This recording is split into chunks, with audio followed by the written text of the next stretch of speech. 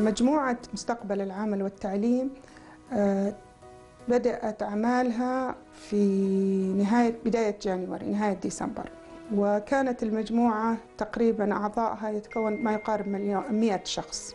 عملنا صراحة في البداية وعلى دراسة القضايا اللي تهم آه، كل الأعضاء في الدول العشرين.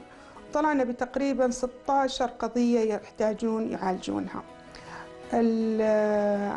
الدراسة هذه طبعا كانت بس منهجية علمية. استخدمنا الاستبانات الدراسات الاستطلاعية ورش العمل وما إلى ذلك. بعد ذلك عندما بدأنا في العمل طبعا جت جائحة كورونا. آه، غيرت المسار.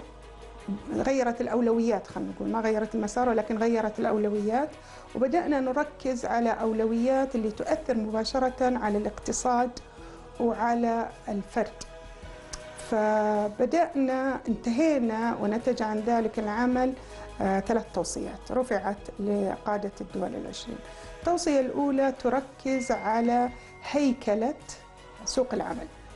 آه، نحن نعلم أن سوق العمل آه، كان فيه ثغرات كثيرة أثيرت من سنوات طويلة تحتاج معالجة.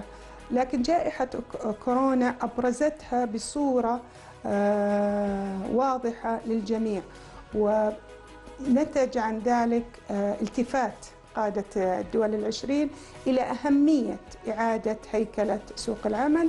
التوصية الثانية آه، ركزت على قطاع المؤسسات الصغيرة والمؤسسات المتوسطة. هذا القطاع نحن نعلم جميعا أن هذا القطاع من أهم القطاعات الداعمة للاقتصاد وهو يعتبر المولد الأساسي للوظائف. ولكنه قطاع آه، يحتاج إلى رعاية وعناية دائمة.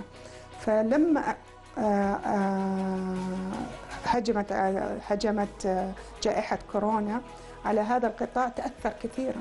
فكانت التوصية الثانية هو الاهتمام ورعاية رواد الأعمال ودعم ومساندة المؤسسات الصغيرة آه، فنيا وماليا ولوجستيا. التوصية الثالثة ركزت على جانب التعليم.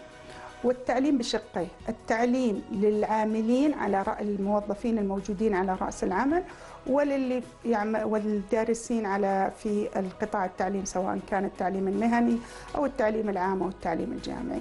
وكانت التوصية بالحاجة الماسة لإعادة هيكلة آه، أنظمة التعليم.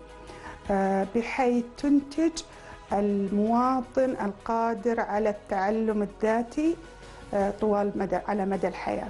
التعليم عن بعد لا يتساوى ولا يعني التعليم الإلكتروني. هما آه، نقطتان مختلفتان تماما. يجب أن نؤمن أن التعليم حق للجميع ويجب أن يتوفر للجميع. المعلم هو أهم أنا في رأيي الشخصي أنها أهم وظيفة في العالم. والمعلم هو المسؤول عن آه، تجهيز ال- رأس المال البشري الذي سنعيش فيه أنا وأنت وأولادنا.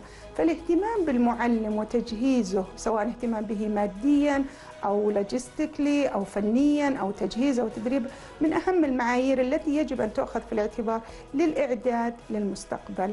نحن نهنئ آه، المملكة وتعتبر من الدول التي عالجت هذا الموضوع آه، بصورة آه، صراحة سريعة وجميلة. ولكن آه، ناو الآن ننتظر ما بعد هذا التعديل.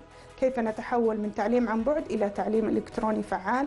كيف نقدم التعليم مبني على احتياجات ال- المراحل العمرية المختلفة؟